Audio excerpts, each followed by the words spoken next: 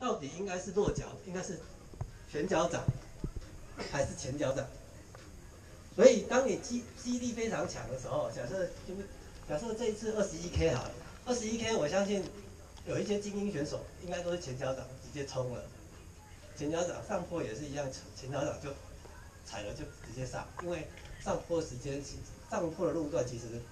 了不起一点多公里而已，所以其实都应付得过来。但是如果是那个那个那个那个长距离到五十 K、一百 K 甚至一百英里以上，那我们那个全部用前脚掌是完全不现实的。所以上坡只有一个原则，就是踩当你踩下去的时候，当你踩下去的时候，你要全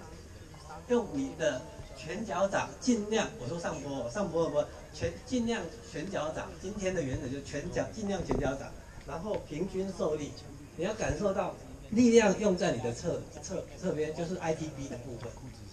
在在侧侧呃大腿大大腿外侧这里，你要感觉到，然后平均的受力上来，平均的受力上来，这是那个这是今天比较原则的地方。然后第二个部分就是下坡，下坡呢，下坡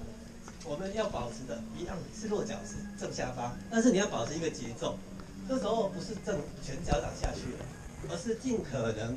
把握在前脚掌或者是三分之二个脚掌落脚的时候。为什么？因为我们需要缓冲。当你全脚掌下去，通常来说是一个正，是一个是有一个反正的力量，所以你下去的时候，你要靠你的脚踝跟膝盖做一个缓冲。下去的时候也会有一个缓冲力，它会帮你做一个缓冲。那这样，呃，也是一个训练，因为事实上有些人可能肌力不足的话，你就会做到什么事？因为太陡，因为坡度不一样。今天如果小缓坡，大家都可以做得到，但如果稍微陡了，肌力可能就不足。那这时候我们要做什么？重心降低，重心降低，你自然就就可以，重心降低，你自然就可以做得到。当你重心降低，你就可以做得到。啊，如果重心太高，那一定做不到。那这是第，这是第一第第一个。